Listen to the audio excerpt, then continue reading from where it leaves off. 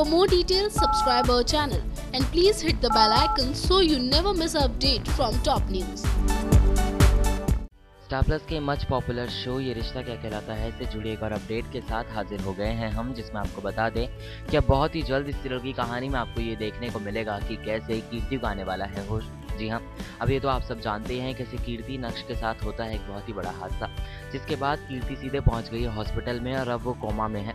लेकिन आपको बता दें कि शो के आज के एपिसोड में हो सकता है कि आपको देखने को मिले कि कैसे कीर्ति को आ जाएगा होश। जिसके बाद सभी घर वाले भी कीर्ति से उस दिन का सच पूछते हुए नज़र आएँगे। जिसके बाद होश में आते ही कीर्ति उस दिन का सबसे बड़ा राज सबके सामने खुलती नज़र आएगी, जहाँ आप सभी को एक्सीडेंट के आगे का सीन तो देखने को मिलेगा ही। साथ ही साथ ये भी देखने को मिलेगा कि कैसे कीर्ति लेगी आदित्य का नाम। वेल अब इस शो की कहानी में और कौन सा बड़ा ट्विस्ट आएगा, इस बात की भी जानकारी हम आपको देते रहेंगे।